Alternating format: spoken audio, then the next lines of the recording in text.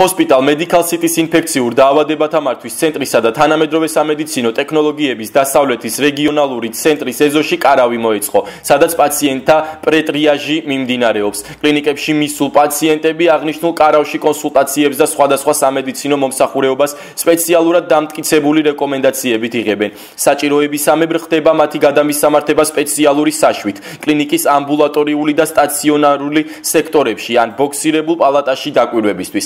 ადმინისტრაციაში აცხადებენ, რომ აღნიშნული გადაწყვეტილება პაციენტთა და სამედიცინო დაწესებულების თანამშრომელთა ჯანმრთელობის უსაფრთხოებისათვის და კორონავირუსის გავრცელების რისკების გამოსარიცხად მიიღეს. Hospital Medical City და თანამედროვე სამედიცინო ტექნოლოგიების გასავლის რეგიონალური ცენტრი ერთ-ერთი იგივე მისამართზე ფუნქციონირებენ. ამ ორი ჰოსპიტალის მისი პაციენტების და მათი სამედიცინო პერსონალის უსაფრთხოების დაცვას არსებულ პირობებში, რომელიც COVID-19-ის გავრცელებას ეხება, ძალიან დიდი მნიშვნელობა აქვს. შესაბამისად, ორგანიზებული იყო, რომ გაკეთებულიყო პაციენტთა და ვიზიტორთა პრეტრიაჟის ზონა, რომელიც დროულად გამოავლინდა სარისკო პაციენტებს და მაქსიმალურად დაიცავდა ჩვენი ჰოსპიტალის თანამშრომელს,